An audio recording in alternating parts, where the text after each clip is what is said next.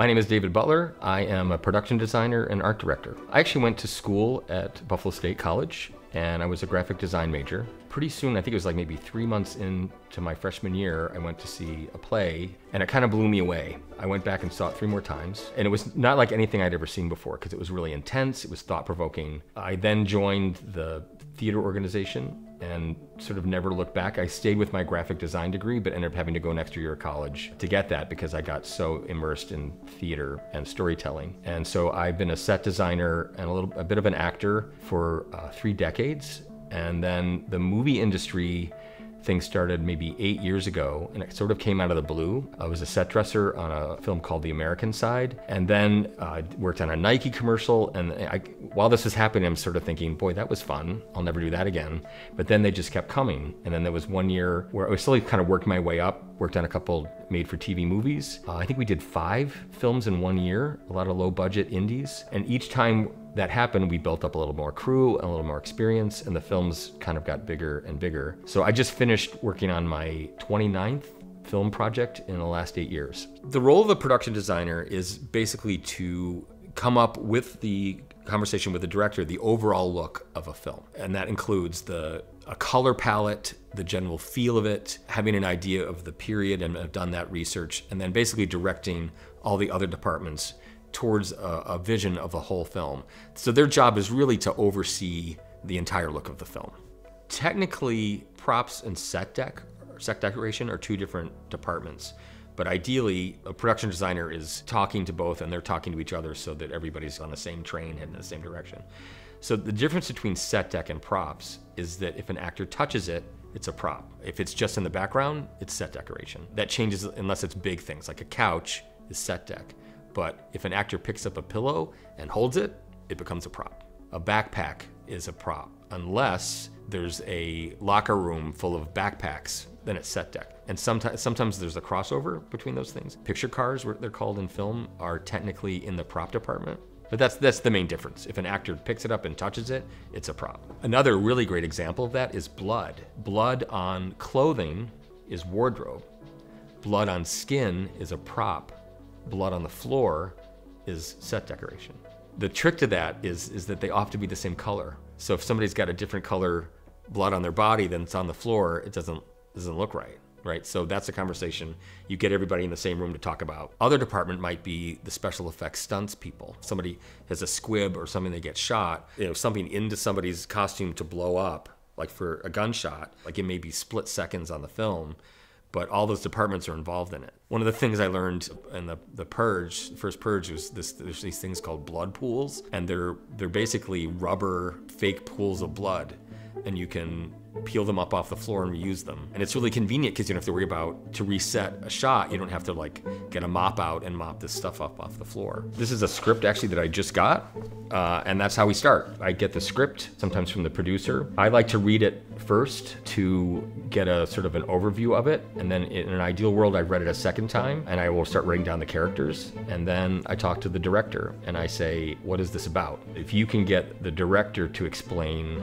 why they picked the story, why they're doing it, why they think it's important to produce. And then I understand what that is, and usually it's like ideally it's in like a sentence, like it's about this. Then as a designer or as the head of the whole department of art, we're all on the same train heading in the same direction. So that's how we start. We have that initial conversation. After that, it's the process of sketching, drawing, coming up with a there's a thing called a lookbook, which is a sometimes a three page, sometimes a multiple page of photographs of examples of this is what I think we might be heading towards, like something that looks like this. A lot of stuff that we get off the internet or, you know, books or whatever. So I might get a, a, a lookbook from the director and from the DP, and then I create my own, like a lookbook to start, and then eventually that becomes boards, foam core boards that we would put up in the, in the walls of the the office of the film, where we start putting up location pictures and we start putting up these are the kind of furniture, and there's a lot of meetings that will happen in that kind of a hallway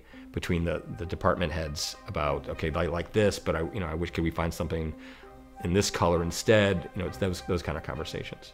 Then you get into the nitty gritty of the of the actual making it happen. Obviously, there's budget issues, materials, like what are we making this out of? Are we building a set of something? Like in Bashira, that film uh, was set in Japan. If you're in a, a place that you're not familiar with, like design wise, you have to research it. So I had to do a lot of research of design on how structures were created in Japan. But then it's working with the all the other departments, the set decorator, the construction coordinator, uh, the prop people. So again, you're all ideally on the same page with the look. After the first couple days of shooting, the producer that hired me is now showing me photographs from his phone, and he's scrolling through them. He goes, "Look at this." Look at this. He goes, this is a painting.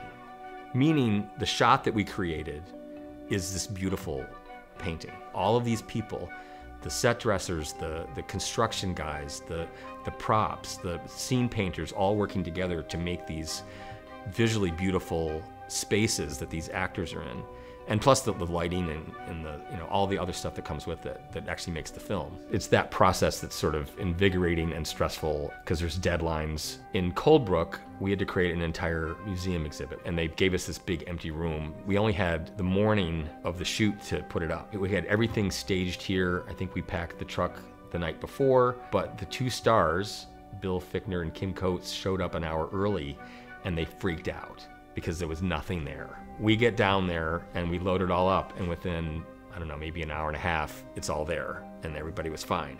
So I didn't hear about this until the Woodstock Film Festival, where we were premiering Cold Brook.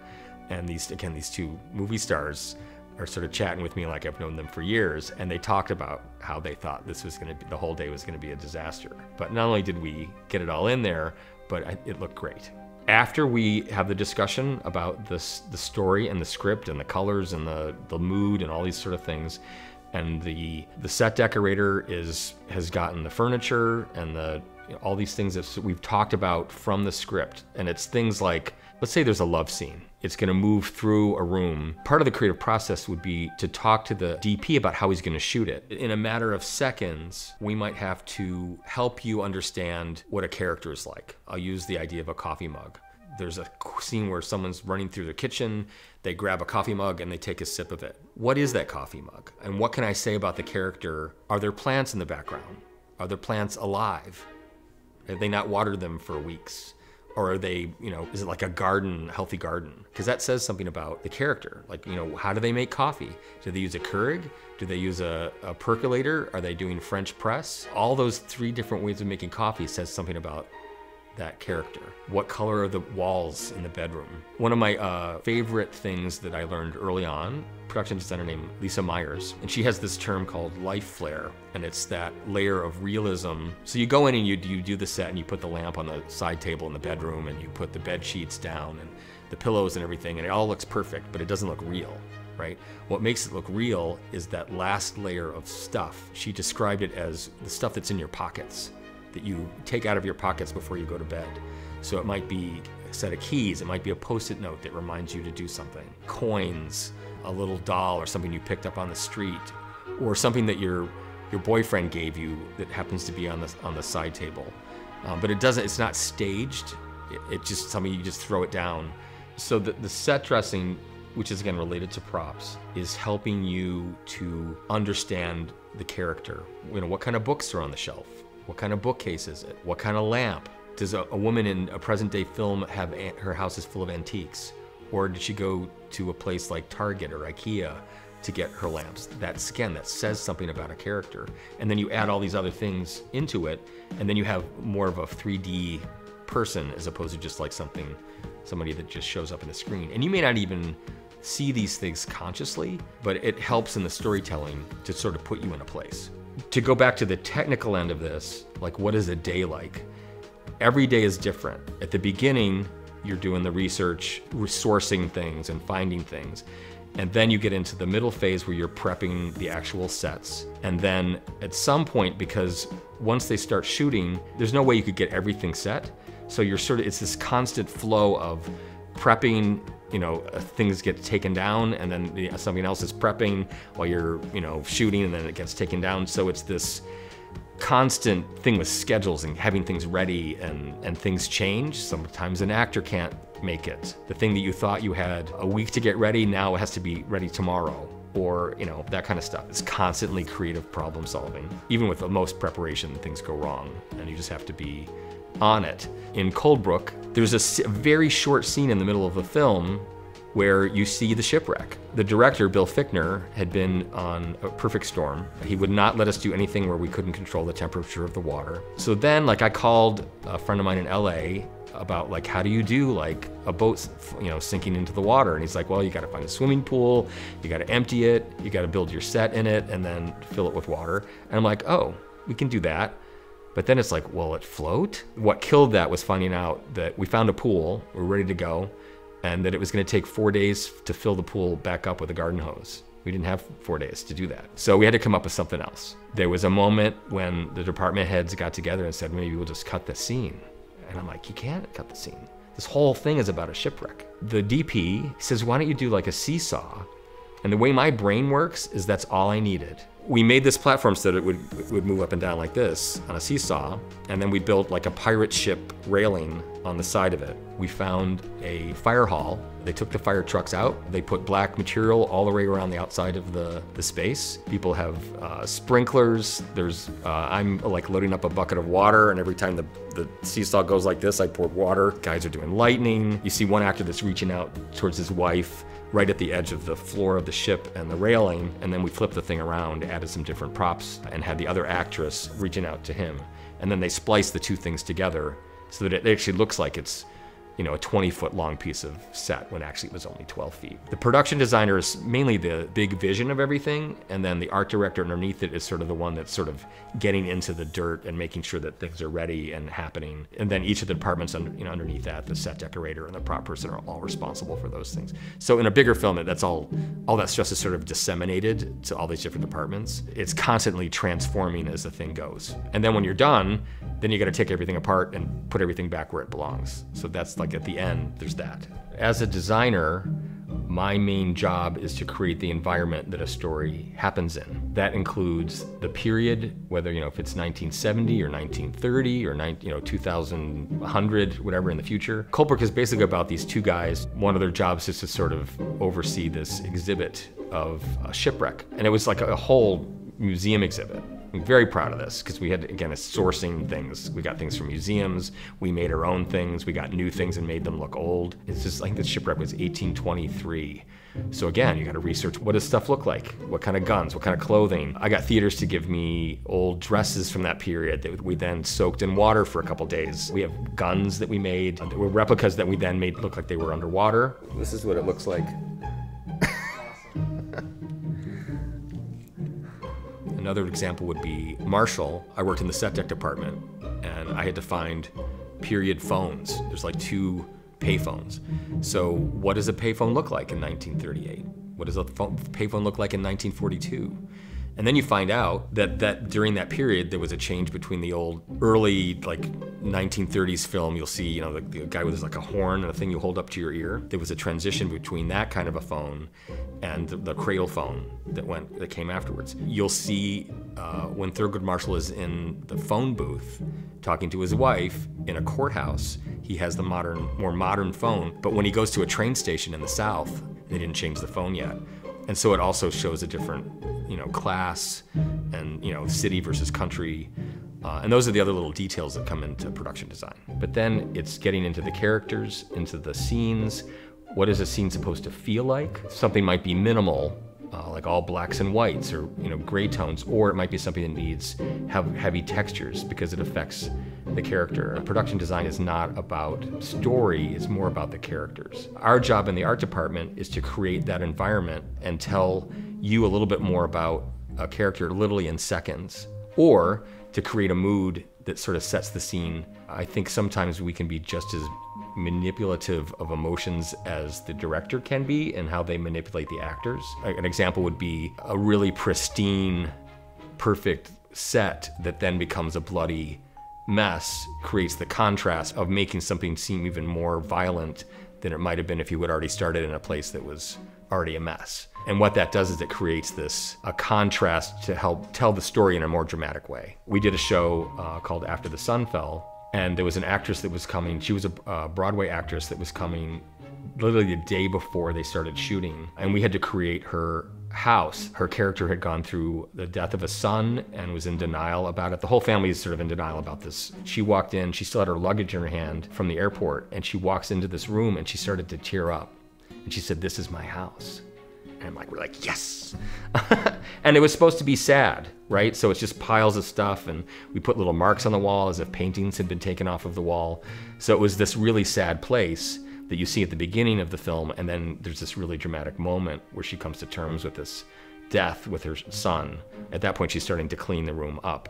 But to set that up for her and have her see it and feel it as soon as she, you know, the day before she shoots, that's our other job is to help the actors to help them fulfill their characters. The issue with that, if you know, imagine the room we're in now and you have like piles of books and clothing and boxes and stuff, like it could take forever continuity wise to like move something out of the way for a camera and then have to put it back when they're reversing the shots. We did this really smart thing and we put all of these piles of stuff on wheels so that you know, you, we hid the wheels by putting boxes over them so that you could take a whole you know, two piles of stuff and slide it into the other room, put the camera there, and then we would just slide it back in. So uh, we got kudos from the DP for that. That's also part of the fun, uh, is sort of creating the look that you want and knowing how to do it. On, on a bigger film, it's different because I don't, I can't touch anything. Uh, in a union film, all I'm doing is I'm saying I, I, I'm giving the scenic charge, the head scene painter, uh, photographs and, and the, probably the prop person is ordering the guns and then they get together and they figure it out. On a smaller film, ideally it's one mind that's sort of figuring all these things out. During Bashira, I would spend hours in my office trying to come up with the right recipe for slime because there's a lot of slime in that film. So I learned a lot about slime. I guess that's one of the things that's a blast is that every one of these, there's a different challenge and you learn something. So if you come into this department and you think you know everything, you're not gonna last very long. Even me, you know, that's been doing it for a long time. I had a day job for 17 years, and so I sort of did the other things that I love to do on the side. I was doing theater. I made a decision to jump off the cliff of self-employment, and I've, I've survived, I think, and it's probably closer to 15 years. I'm a little in denial about numbers these days. We have two businesses that we run out of our shop. My business, which is David Butler Designs and Procreation. Out of this space, uh, when we're not doing film, we do everything from party decorations to dance, theater, ballet sets, art installations. My two partners approached me because we were running out of room in here. The film industry was starting to come in and it seemed like it was going to continue. So we decided to create a separate business called Buffalo Props. We have a website and we're heading towards cataloging everything so that you will eventually be able to go to our website and if you need an Art Deco lamp, click on Art Deco lamp and you'll get some some choices because that's how that's how it works in other cities. It's a fledgling prop house. We're not an LA prop house at this point where you drive your box truck and fill it up with everything you need. We're not there yet, but I think as Buffalo becomes more of a film town, uh, we'll become more and more of a resource. Every time we do something, or if we see something on the street that somebody's thrown out that's really cool, we hang on to it. I, I get called up and say, I've got a a 1940s radio in my parents' basement. Do you want to come get it? We're learning to collect iconic things and cool things at this point. This is a small shop, so on the indies, this place is very active. On a major, we're setting up an entire workshop with tools and you know power tools and equipment. The scene painters have their own space, but the advantage of that is that everybody's in the same room or in the same building so that you can cross the building and say, hey, that door that you guys are painting, we need that for tomorrow. Our collection of things is a little bit of everything from people donating things to us, like we need to get this out of our house, to things that we would actually purchase. One of the things that's sort of fun about Buffalo is that we don't have a big prop house like LA and New York does, but the sort of joke here is, is that it's in everybody's basement. And there has never been a time, at least so far, where I haven't needed to find something and I found it through a social media post. For instance, recently uh, we had a, a, Del Toro film in town and they needed period bicycles. So I found one here and one there, and then someone said you should go to a local bike shop. So I go to this place. It's been on Allen Street for decades. Turns out uh, it was started, I think, in the 1890s. So I get there and they're like, oh, we have your bikes. They take me down into the basement and it's like a museum of bikes. Like there are hundreds of bikes in this place that range from 1890s all the way to modern day. So I now know, and so does Toronto, that that now is a resource for uh, period bikes. And I also learned how you can tell the difference between this type of bike and a year, a couple years later when things change, just like the phone. That's that's part of the journey of this is is finding things and realizing that they're all uh, they're all nearby.